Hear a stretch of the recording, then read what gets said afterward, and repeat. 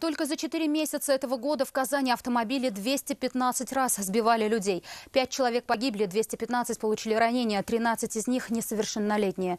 До 3 июня в Казани проходит первый этап операции «Внимание, дети». Сегодня автоинспекторы вышли на самые опасные для юных пешеходов участки городских дорог. Альбина Минибаева убедилась, что пешеходов пропускать любят не все.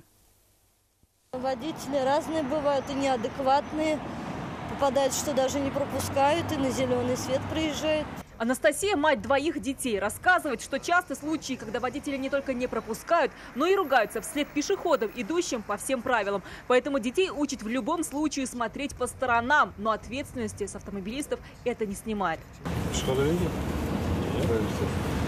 Не видят?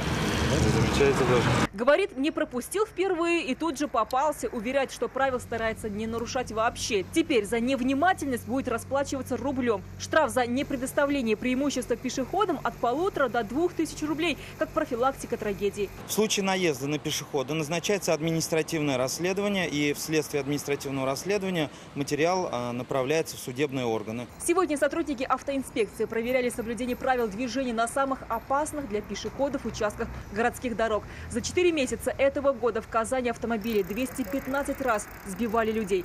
5 человек погибли, 215 получили ранения. Альбина Минибаева, Нафиса Минязова, Адель Мулахметов. Вызов 112.